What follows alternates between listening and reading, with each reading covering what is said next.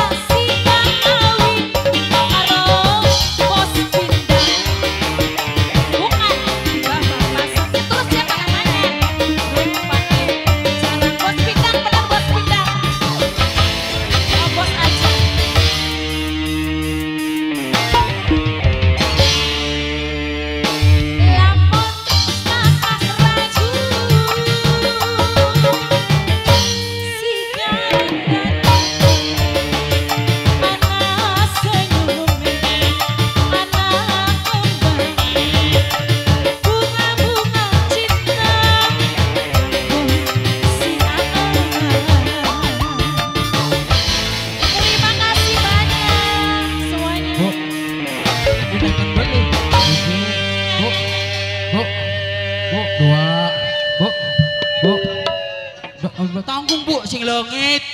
Bu. Oke, matur suwun sangat terima kasih banyak buat ibu-ibu DPR alias ibu-ibu dapur.